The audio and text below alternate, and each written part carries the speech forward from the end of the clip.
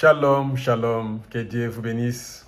Je souris parce que je suis dans la joie. Je sais que vous aussi, vous êtes dans la joie. Et si vous êtes triste, ne vous en faites pas. Seigneur Jésus-Christ rend la vie heureuse. Alors ce matin, tous ceux qui m'écoutent, s'ils sont deux, ils sont trois, ils sont cinq, moi ça me fait du plaisir. Euh, si Dieu m'a donné à parler à cinq personnes, à parler à dix personnes, cela me suffit. Alors aujourd'hui, par la grâce du Seigneur, je vais réconforter cette personne qui est abattue, qui a trop de problèmes dans sa vie, peut-être la finance, peut-être les vivres, peut-être la famille, les enfants, peut-être son mariage. Tous nous avons des problèmes, bien-aimés. Personne ne peut dire aujourd'hui, lever son doigt et dire qu'il n'a pas de problème. Non. Alors, quelle est l'importance de Dieu aujourd'hui? Quelle est l'importance de la parole aujourd'hui? Quelle est l'efficacité de la promesse aujourd'hui? N'est-ce pas pour nous, nous, nous renforcer? N'est-ce pas pour nous amener à la solution? N'est-ce pas pour euh, faire paraître ce qui est perdu? Voilà, c'est ce que euh, je vais dire ici aujourd'hui. Donc, euh, je vais parler sur la foi dans la prière. Bien-aimés, la foi d'abord, nous les connaissons. La foi est prêchée partout, dans toutes les églises. Si nous n'avons pas la foi, nous sommes perdus. La foi, c'est une substance, c'est-à-dire quelque chose qu'on doit toucher. On doit toucher la foi. On doit la voir, on doit la posséder. On doit la posséder. La foi dans la prière. Plusieurs personnes prient aujourd'hui parce que la situation est grave. Et il veut que Dieu réponde à l'instant. Oui, Dieu peut répondre à l'instant. Il est le Dieu miraculeux. Il peut répondre à l'instant. Il peut aussi te faire attendre. Peut-être pour éprouver ta foi. Oui. Pour éprouver ta foi. Mais, à ce que je sache, il est Dieu. Il ne dort pas. Il n'oublie pas. Il n'a pas besoin d'un secrétaire à, ses côtés pour lui, faire part de, tout ce qu'il doit faire. Il est souverain, il est suprême dans tout ce qu'il fait. Toi, ton problème, c'est de croire qu'il est Dieu, qu'il va agir en son temps et pour ton bien. Vous voyez, bien aimé. Donc ici, je voudrais dire que il ne faut pas relâcher quand nous prions. Parce que des fois, nous prions aujourd'hui, Dieu reste silencieux. Tu reviens, tu pries, il est toujours silencieux.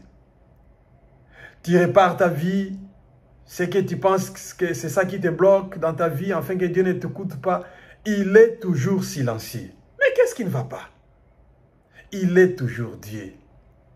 Soyez toujours sûr et certain qu'il est Dieu. Il va agir. Même si le ciel devient bleu, devient noir pour vous, Dieu agira à son temps et pour ton bien. Il connaît tout ça. Il, a déjà tracé tout ton programme. Personne ne peut bouleverser les programmes que Dieu a tracés pour toi. Personne. Alors Jésus, même fois pour la prière, Jésus avance et nous adresse une parabole. Cette parabole se trouve dans Luc 18. Commencez à partir du verset 1, descendez jusqu'au verset 7 euh, et vous verrez cela. Qu'est-ce que Jésus veut, nous dire là-bas? Il nous dit, il y avait dans une ville un, un juge qui n'avait d'égard pour personne et qui ne craignait même pas Dieu. Et dans cette même ville, il y avait une femme veuve. Cette femme venait tous les jours demandant à ses juges de lui rendre justice contre sa partie adverse. Vous connaissez la vie d'une veuve et vous connaissez le comportement d'un juge ou d'un président aujourd'hui ou d'un gouverneur aujourd'hui. Alors que vous êtes paysanne, vous êtes, êtes euh, veuve, et vous avez besoin que cette personne haute de la ville vous rende justice. Cette femme venait les matins, il frappait, elle frappait à la porte de, de son bureau et les juges restaient silencieux, ils ne voulaient pas agir. Elle est retournée encore à midi. Elle frappait à la porte. Peut-être le juge était en train de, prendre son repas du midi. Silencieux à l'égard de cette veuve. Peut-être elle est revenue le soir. Elle a encore frappé à la porte. Cette personne, ce juge était toujours silencieux envers cette femme veuve. Et la veuve souffrait.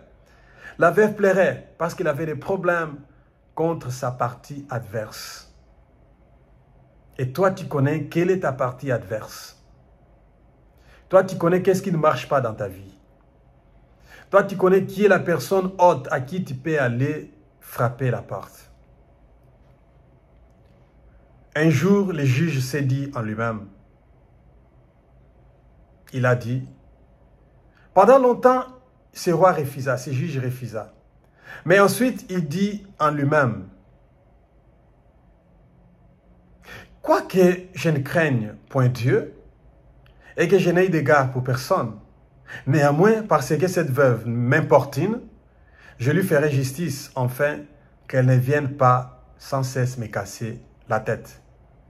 Vous voyez qu'à cause de l'insistance, le non-relâchement de cette femme veuve, le juge a résolu bien que je ne crains point Dieu, bien que je n'ai pas d'égard envers personne, mais néanmoins cette femme importune, parce qu'il vient à tout prix, euh, elle vient, elle me dérange, je vais la faire justice afin qu'elle ne vienne sans cesse me casser la tête. Et le Seigneur ajoute ici, vous entendez ce que le juge dit?